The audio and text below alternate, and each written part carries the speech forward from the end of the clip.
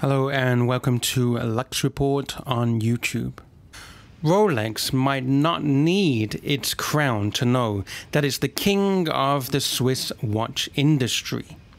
According to new data compiled by WatchPro, the iconic Geneva maker accounted for one quarter of the industry's total turnover in 2020.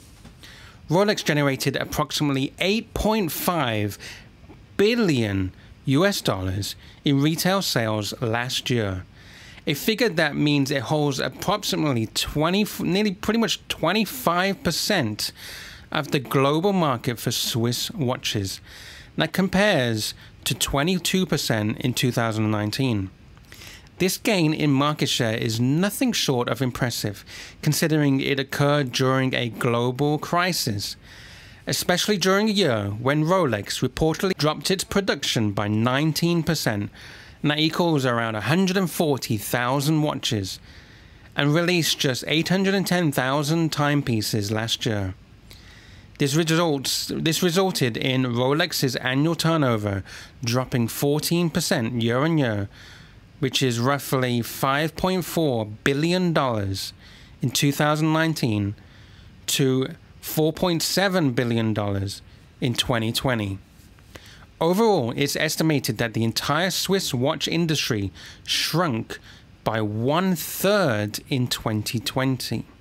Omega was named the world's second largest Swiss watchmaker and sold 500,000 timepieces while this was quite a dramatic nosedive from the near uh, 800,000 it sold in 2019, the watchmaker still managed to pull in $3 billion.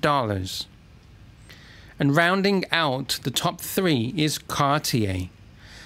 The luxury watchmaker actually managed to sell more wristwatch- wristwatches in 2020 than previous years, thanks to a 30% reduction in price. Some 490,000 watches were sold, eclipsing 2019's total by 80,000.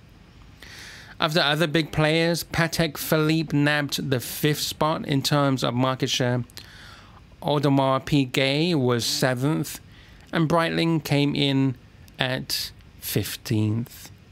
Interestingly, these privately owned watchmakers, along with Rolex, outperformed publicly listed competitors such as LVMH, Swatch Group, Kering, and Richemont.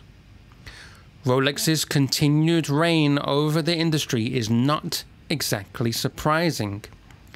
The watchmaker's rise to the top was largely due to product control and basic supply and demand. As such, last year's low in production may have made the timepieces even more coveted.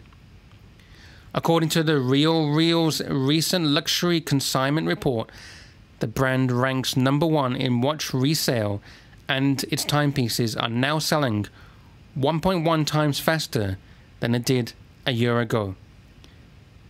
Apparently, it takes more than a global crisis to dethrone this king. What do you think about that? Will Rolex stay on top for more years to come, even with the whole supply and demand nightmare that continues, with people unable to get watches that they desire and have to look on the grey market and find them at way over retail let me know your feelings and thoughts in the comment section below. And of course, subscribe to us, Lux Report. Click on the bell icon and we'll keep you informed on the latest happenings in the watch world.